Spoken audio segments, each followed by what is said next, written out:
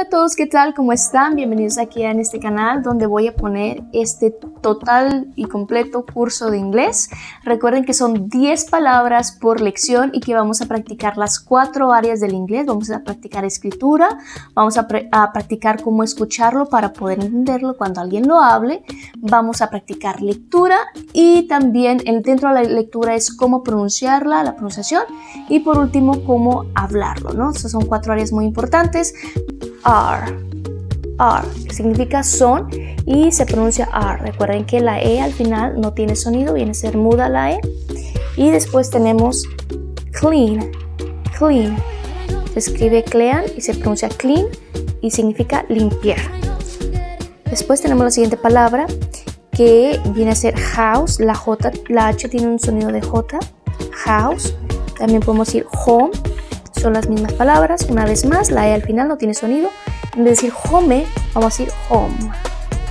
House, home. Y significa casa. Después tenemos because. Una vez más, la E no tiene sonido. Because. ¿Por qué? Need. Cuando tenemos dos E juntas, tiene un sonido de I. En este caso, need. Necesitar. To. Para o a help. Help. La H tiene un sonido de J. Help, que significa ayudar. Después tenemos family. Family, que significa familia. Great. Great, que significa súper o bien. Me too. Me too, que significa yo también. Estas son nuestras 10 palabras te olvides llevar un cuadernito donde tú apuntes tus palabras que vas aprendiendo en cada lección. Por ejemplo, la lección número 1 aprendimos estas 10 palabras. Es la lección número 2, llevamos estas otras 10 palabras. Las voy poniendo de 10 en 10 y recuerda ponerlas de la siguiente forma. Crea tres columnas, columna 1, columna 2, columna 3. En esta columna vas a poner cómo se escribe la palabra en inglés. Después aquí vas a poner cómo se pronuncia y aquí la traducción. ¿Por qué de esta manera? Porque es más efectivo cuando vayamos a estudiar. Si por ejemplo lo que quieres checar es si tu traducción al ver las palabras en inglés está bien, lo que haces es esto, tapas esta parte aquí, que es la traducción en español, y nada más tendrías acceso a ver cómo se escribe y cómo se pronuncia la palabra, y de esa manera tratar de figurar cómo es que eh, se traduce. Esta técnica es muy importante, muy buena, muy fácil ya que puedes ver qué palabras te sabes al verlas simplemente. Por ejemplo, si tengo name, name, yo digo, ok, ¿qué es name, name, name? Y después digo, ah, es nombre. Y ya comparo, ah, sí, sí es nombre. Y por ejemplo, si tengo eat, eat, y quiero saber qué significa en inglés, eh, trato de pensar y digo, ah, ok, eat significa comer. Y ya veo la respuesta. ¿Ok? También eh, para practicar tu pronunciación, tapas lo de en medio y dices, ok, tengo esta palabra, ¿cómo se pronuncia? hi, hello, my, name, is, I, like. Y las que no te sepas muy bien, las vas marcando. Y de esa manera puedes estudiar de una manera más efectiva. Digamos que si yo la palabra uh, end no me la sé muy bien, bueno, yo pongo la parte que no me sepa. Si no sé pronunciarla bien, yo por ejemplo con un lápiz yo la marco y digo, ok, esta palabra la tengo que practicar, la pronunciación.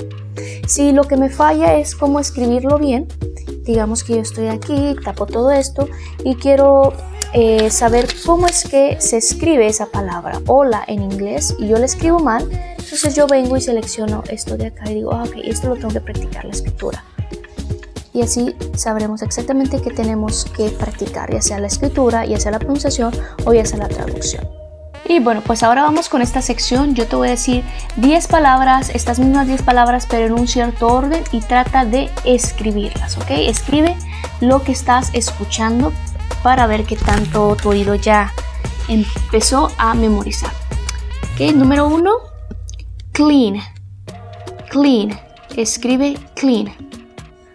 Número 2, need. Need. Need. Ahora, trata de escribir la palabra como es que se escribe en el inglés. Tú lo vas a escuchar un cierto sonido, pero trata de acordarte, ¿ok? ¿Cómo es que se escribe? Número 3, me too. Me too. Número 4, too. Too. Número 5, family, family, family. Número 6, are, are, are. Número 7, house, home, house, home, house, home. Número 8, great, great, great. Número 9, because, because, because. Y número 10, ¿cuál nos falta? Help, help. ¿Ok? Ahora checa tus respuestas y verifica que las tengas correctas, justo como las mías. ¿Ok? Estas son las respuestas. Número 1 es clean. Número 2 es need. Número 3 es me too. Número 4, to. Después family, are, house, home, great, because y help. Es traduce estas 10 palabras, tradúcelas al español. Esto es de alguna manera un examen para ver qué tanto se te ha quedado en esta lección. Bueno, estas son las respuestas. Y bueno, ahora combinemos algunas palabritas de la lección 1 con la lección número 2 para empezar a crear nuestros primeros enunciados, nuestras primeras pláticas. Número 1. You need help. You need help. Escribe eso en tu cuaderno. You need help. Número 2. I eat chicken. I eat chicken. I eat chicken. Número 3. My family. My family cleans the house. My family cleans the house. Ahora, la única palabra que no hemos aprendido es el the. Y ahorita lo vamos a checar. Número 4. Me too. Me too. Y número 5. Um, my name is Tania.